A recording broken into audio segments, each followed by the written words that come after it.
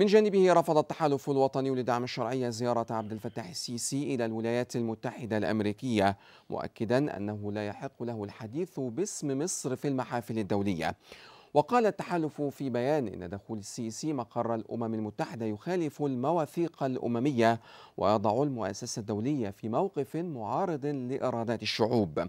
وأضاف أن زيارة السيسي للولايات المتحدة تهدف لما سماه بشراء شرعية زائفة. ودعا التحالف المصريين إلى تنظيم مظاهرات حول العالم لرفض زيارة السيسي تحت عنوان لا يمثل مصر.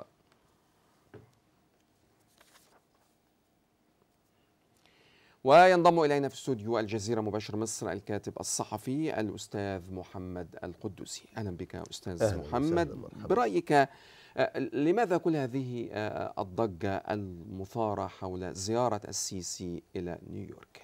يعني هناك لص اختطف دولة وهو يقف الآن للحديث باسم الدولة التي اختطفها هذه المسألة. ونتذكر مع هنا تحفظنا فقط على لا لا هناك لفظ لص لا نعم. لص هو لص لص حقيقة يعني. يعني هذا رأيك يعني نحن أوكي. نتحفظ و... وأنت تقول ما تشاء. وأنت من حقك تتحفظ تفضل. بالتأكيد يا أستاذ سالم. الأبيات الشعر بتاعت أمل دون نتذكرها وهو يقول وهل هان ناموسه؟ أي ناموس الله سبحانه وتعالى؟ شريعة الله في البرية حتى تتوج لص بما سرقته يداه. فلا يجوز أبدا أن يتتوج اللص بما سرقته يداه. أنا بس عايز أقول أنه يأبى الله إلا أن يفضح عبد الفتاح السيسي في كل ما يفعل. مثلا يقال إنه أو محمد مصطفى شردي هو احد مؤيديه وأحد أبواقه. كان يتحدث بالأمس وقال إنه نجح في خداع المتظاهرين ولم ينزل في فندق والدولف أستوريا كما كانوا يظنون إنه سينزل. طيب يا حبيبي ده كده هذا الرجل عرف العالم كله أنه لا يستطيع أن يقابل من ينتمون إلى الشعب الذي يقول أو الذي يزعم أنه يتحدث باسمه. إذا كنت تتحدث باسم هؤلاء فكيف تختبئ منهم؟ كيف تذهب إلى مكان لا يعرفون أين أنت فيه؟ رأينا من قبل مش هما كانوا بيشبهوا السيسي بعبد الناصر. طيب عبد الناصر الناس شالت السيارة الكاديلاك بتاعته على كتافها ومشيت بيها في طريق في طريق المطار بضع مئات من الأمتار وكان يعوم وسط بحر من الجماهير وكان لا يخشى الناس. إذا كذبوا فيما قالوه. لو كان الأمر لو كان هذا كذاك لكان السيسي نزل في الفندق اللي الناس عارفين إن هو هينزل فيه واستقبل الناس وقعد في وسطهم والناس حملوه على الأعناق. أما أن أما من يختبئ من الناس فهو فأر مذعور لا يزيد ربما فعل ذلك أستاذ محمد ودعني هنا يعني ألقي يعني أعبر عن وجهة النظر الأخرى حتى يتلافى ما حدث مع الإعلاميين في أنا نيويورك أنا موافق. حيث استقبلهم المعارضون أنا موافق على وجهة هجوم حاد. أستاذ سالم أنا موافق على وجهة النظر الأخرى قبل ما تقولها. هو خائف. أهلا وسهلا. اذا الخائف هو شخص غير محل ثقة وغير محل رضا. إذا كان هؤلاء الناس يرضون عنك ويحبونك ويثقون فيك فأنت بالضرورة لا تخاف منهم.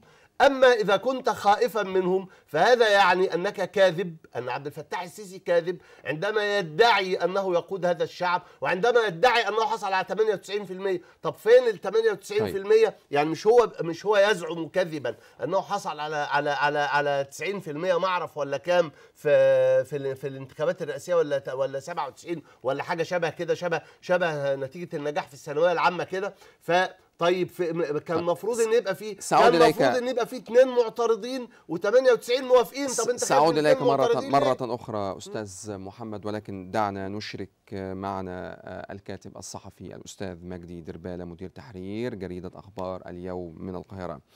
أستاذ مجدي يعني حسب ما يقول ضيفنا الأستاذ محمد القدوسي لماذا غير المشير السيسي مكان إقامته بنيويورك ولماذا يخاف من مواجهة المصريين هناك؟ أحييك يا أستاذ سالم وأحيي الأستاذ محمد عبد القدوسي الزميل والصديق العزيز. يعني بس أنا بعترض تماما على المنطق اللي الأستاذ محمد بيتحدث بيه.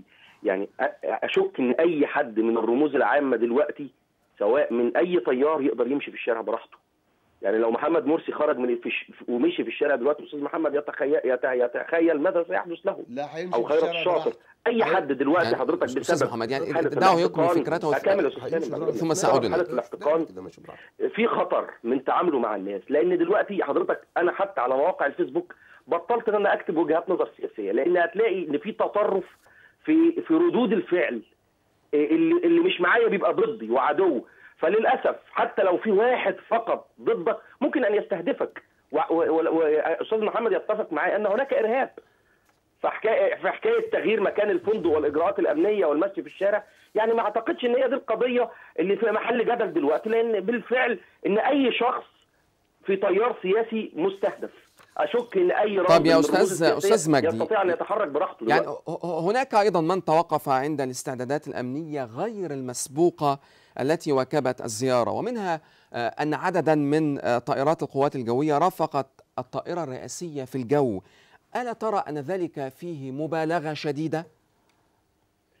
يعني حضرتك شايف إن في مبالغة؟ في ظل هذه الظروف؟ في ظل الاحتقان العالمي أنا أسألك عن رأيك يا. فندم. أنا أنا أنا مجرد أنقل يعني لك آه، ما يقوله البعض. أنا ماليش رأي. طيارات يا أستاذ سالم. يعني هل, حدث قبل ذلك أن آه، رافقت طائرات من سلاح القوات الجوية المصرية الطائرة الرئاسيه في الجو؟ هل حدث قبل ذلك؟ آه حصلت آه، لسه في آه، في زيارة الرئيس السيسي لروسيا أن المجال الجوي الروسي كان هناك طائرات آه، ترافق طائرات الرئيس. ثم حضرتك الإعلام قبل ذلك ما كانش بيركز على هذه الأمور. قد تكون كانت بتحدث في عهد الرئيس ال- الأسبق حسني مبارك أو غيره. يعني وقد تكون بتحدث مع الرؤساء ال- الأجانب لما بيجوا لمصر. إحنا ما كناش بنركز بهذه يعني بهذه التفاصيل على تواجد السلاح الجوي مرافقا لطائرات الرئيس خاصة أن هناك يعني دعنا نكون صرحاء أن هناك دول تختلف مع مصر وتدفع الملايين من الدولارات ل- لمحاولة آه، آه، إزهاق روح النظام. فيعني تتوقع منها أي شيء. طيب أستاذ مجدي آه، الأمين العام للأمم المتحدة بان كيمون أعرب عن قلق الأمم المتحدة من إجراءات محاكمة الصحفيين في مصر وكذلك الإجراءات القانونية بحق المعتقلين. هل من الممكن أن يكون لهذه الانتقادات دور في مراجعة النظام المصري لهذا الملف؟ إحنا آه، بدورنا كصحفيين يعني بنرفض أي إجراءات تنال من حرية الصحافة. ولكن يعني أكيد تتفق معي أستاذ سالم إن حريتك تنتهي عند حريات الآخرين وأن دول العالم بالكامل قد تفرض إجراءات ومنها قطر. يعني قطر فرضت فرضت بعض الإجراءات التي تخص مواقع التواصل الاجتماعي وغيرها. يعني كل دولة لها الحق تماما في الدفاع عن أمنها القومي بالإجراءات التي تراها. أمريكا نفسها هناك جندي في المارينز كان انتقد آه، أوباما بشكل غير لائق على صفحات التواصل الاجتماعي تم القبض عليه ولكن نحن مع حرية الصحافة وحرية الرأي وعدم وجود إجراءات آه، تقيد آه، من تحركاتنا كصحفيين وكإعلاميين لا السؤال المحدد. أستاذ مجدي يعني هل بعد انتقاد بان آه، الدولية للنظام المصري هل من الممكن أن يغير النظام المصري من سياساته في هذا الملف؟ بس أنا عايز أقول لحضرتك حاجة. إحنا كان عندنا في أخبار اليوم زملاء بينتقدوا كثيرا جدا من مواقف النظام ونحن جورنال حكومي. يعني ما أعتقدش أن التقييد بالشكل اللي بتتحدث عنه ما حدش خد إجراءات ضدهم.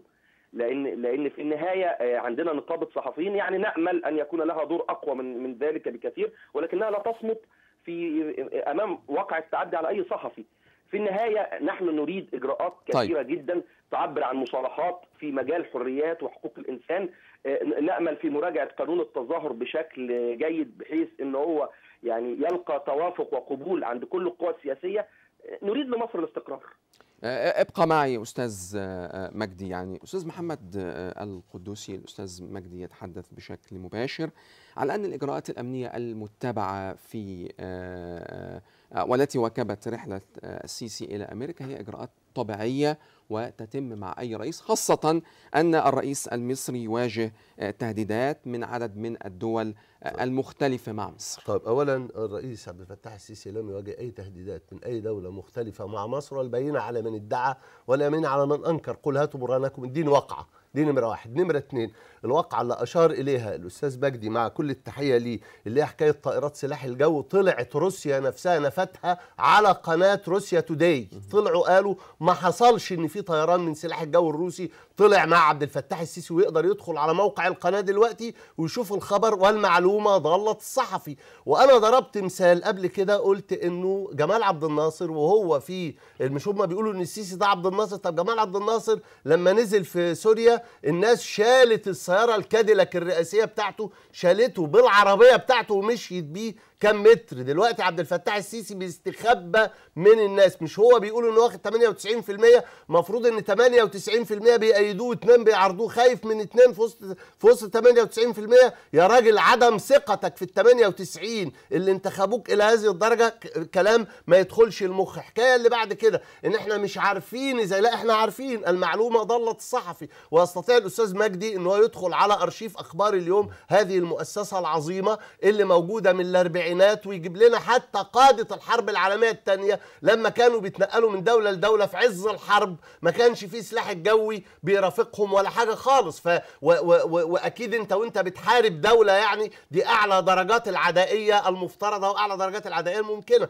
أما حكاية إن إحنا بنتحدث عن واقعة حقيقية فيرد عليها بافتراض أصل ما فيش قائد دلوقتي لا كل الناس بتمشي في الشوارع طيب. وما دام عفوا وما دام قد ضرب المثل بقطر فقد رأينا الأمير تميم يسير في الشوارع ومحدش بيجي جنب منه خالص طيب. بالعكس الناس بتيجي جنب منه بالتحيه وبالمودة هقول لك على حاجة تانية بس إن أنا بمر كل يوم على الديوان الأميري وأنا رايح وأنا جاي مفيش عسكري واقف جنبه خالص يعني- من- يعني حيث محمد، يعني- بس يعني- اصبر, يعني- اصبر, اصبر بس عليا دعنا في الشأن لا، المصري، دعنا في الشأن لا عشان المصري. هو اتكلم بس استنى طيب. اصبر بس عليا الحاجة الأهم بقى من كده إن الأستاذ مجدي بيتكلم عن حرية الصحافة إزاي وفي صحفي اتطفت السيجارة في رقبته وشفنا ده بالفيديو. ان ما كان يحدث في أقبية السجون وسراديب المعتقلات أصبح يحدث الآن للصحفيين الموالين للنظام في الشارع ومن حارس وزير بدرجة صلب بالكتير. طيب. يعني يعني إنه ما كانت تنكره الداخلية وما كنا